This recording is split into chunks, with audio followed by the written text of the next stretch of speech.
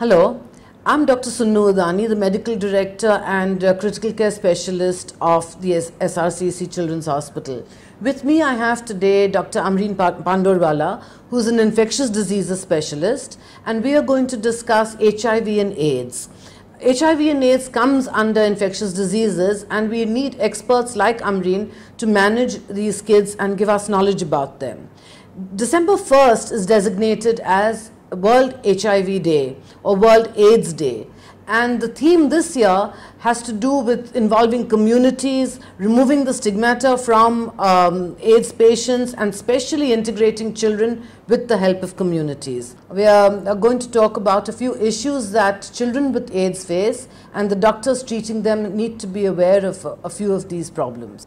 With this, we'll start off by asking a few questions to Dr. Ambreen Pandrowala. Ambreen, first tell us what is the actual difference between HIV and AIDS? Everyone knows HIV infection is AIDS, but is there a difference? Yes, there is a difference. It's a very simple question, but a very important one to understand. HIV is not the same thing as AIDS. AIDS means acquired immune deficiency syndrome. Acquired is something that you get, you've not always had it. Immune deficiency is when your immune system is not working properly, meaning it's lacking in some way. And syndrome is a group of illnesses together. But Ambreen, uh, if you have HIV, does it mean you have AIDS and vice versa? No, it doesn't mean if you have HIV, it doesn't mean you have AIDS. HIV is human immunodeficiency virus.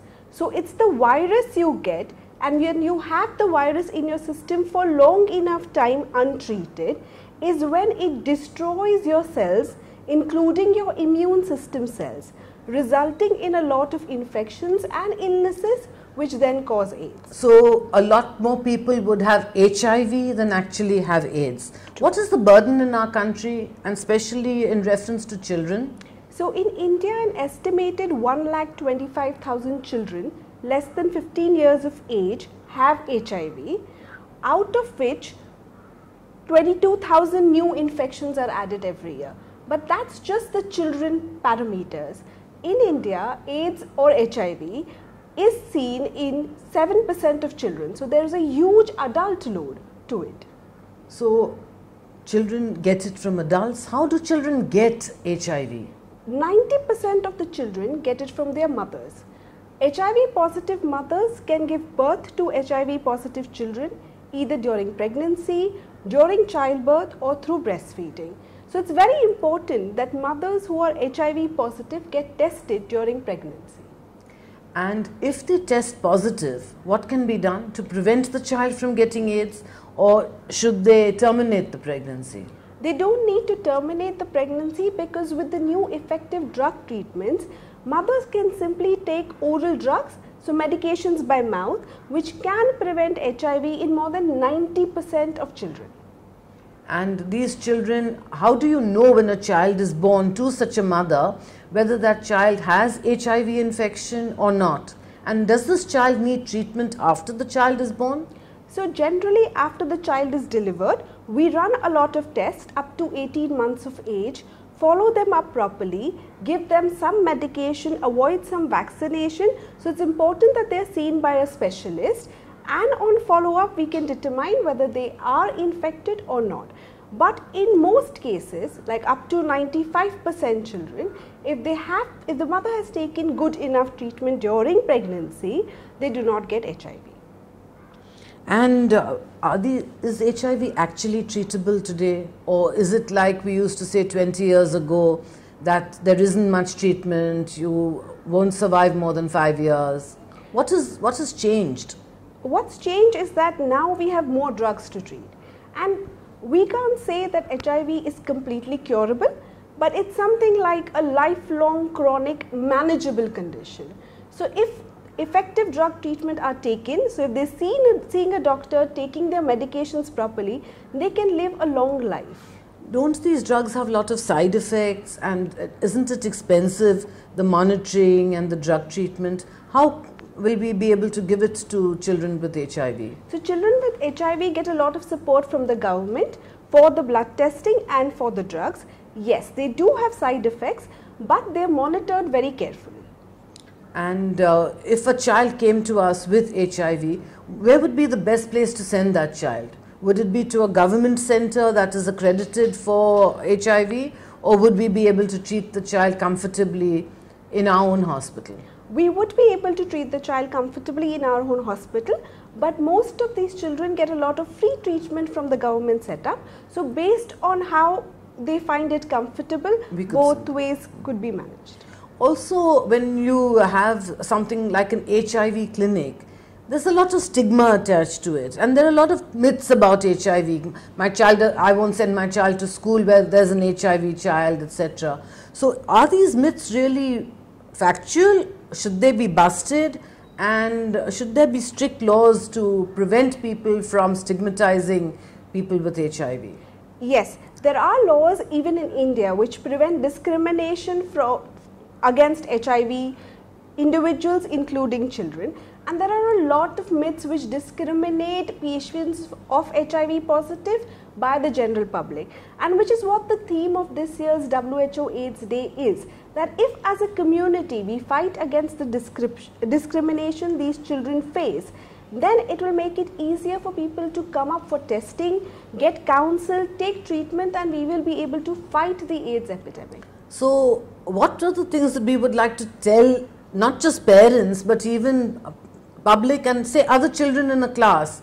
Um, is it transmitted by kissing? Is it transmitted by sharing lunch? Yes, so no, HIV is not transmitted by hugging, by kissing, by holding hands, by sharing toilet seats, by sharing lunch. All these will not transmit HIV.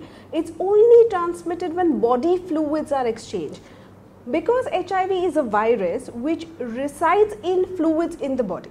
So, coming to that, um, in India, one of the main reasons why there was a spread of um, hepatitis B was indiscriminate use of needles and syringes.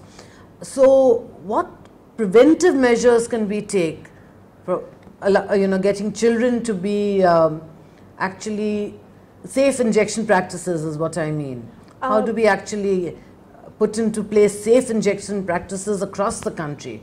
So it's very important that as doctors, we are aware about the fact that HIV can be transmitted by needles, by sharing injecting equipments, and by using disposable one, just one use one, syringes and needles that can help in preventing the spread of HIV through injections and needles. So when children go for immunizations and all, we should make sure that they use only disposable Only needles and disposable there is no reuse. Yes. Any other method of preventing HIV transmission to a child?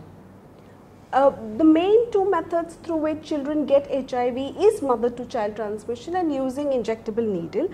Earlier, even blood transfusion, blood and blood product transfusion did cause transmission of HIV, but now they are monitored, checked before getting transfused, so that incidence is come down significantly. So the fear of getting HIV through blood transfusion, we could safely tell a mother or a father that uh, chance extremely, extremely low. True, chances are extremely low.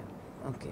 Anything else you would like to add about um HIV in the community? What we can do for our children? How we can take this forward?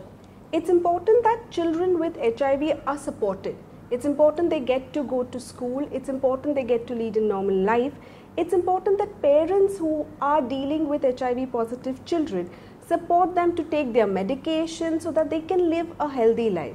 And as a community, it's important that we understand the facts about HIV, do not discriminate against these patients and children so that we can fight the epidemic as a team, as a community.